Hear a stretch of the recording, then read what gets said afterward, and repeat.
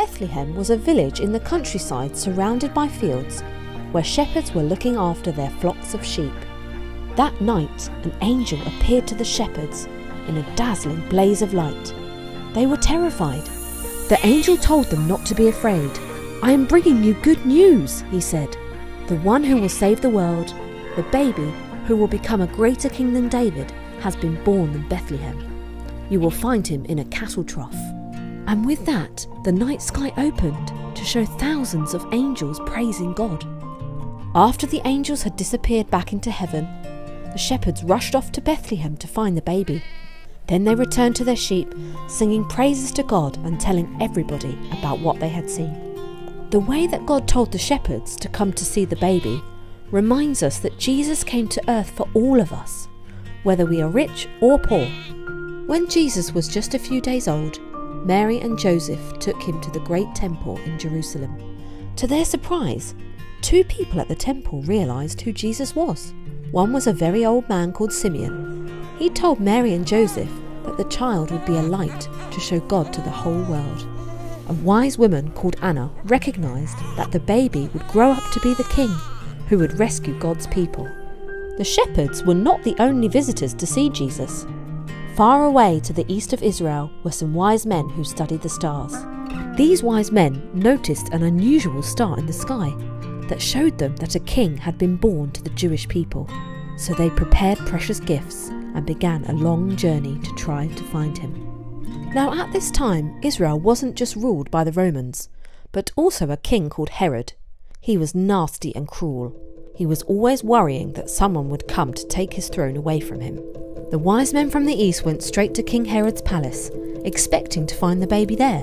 When they explained why they had come, Herod became jealous that this baby might be God's king. Because he was an evil man, he pretended that he wanted to find the baby so he could pay his respects. He sent the wise men to Bethlehem with instructions to come back and tell him where the baby could be found. But he didn't want to take presents to Jesus, he just wanted to kill him. Guided by the star, the wise men found where baby Jesus was. They were delighted and opening their treasure chests, gave him gifts of gold, sweet smelling frankincense, and a spicy ointment called myrrh. The way that God told the wise men to come to see the baby reminds us that Jesus came to earth for everybody, wherever we come from. As the wise men were planning to return to their own country, God warned them not to go near Herod. So, without him noticing, they slipped quietly away. As they left, an angel came to Joseph and warned him that Herod was going to search for Jesus to kill him. Without waiting, Joseph took Mary and Jesus and left for Egypt where they would be safe from Herod. Eventually, much to everyone's relief, King Herod died. Mary, Joseph, and the young Jesus returned to Nazareth where Jesus grew up. But those who knew the story of his birth wondered what was going to happen to him. So that's how Jesus was born. The Bible also tells us why he was born. It says that Jesus was God with us. Remember how long, long ago people had turned away from God and become separated from him? Jesus was not just an ordinary baby, he was God coming to be one of us. We couldn't get back to God, so he came to be with us.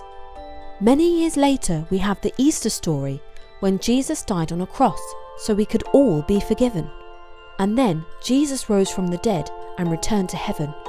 Although Jesus is now in heaven, he is still God with us.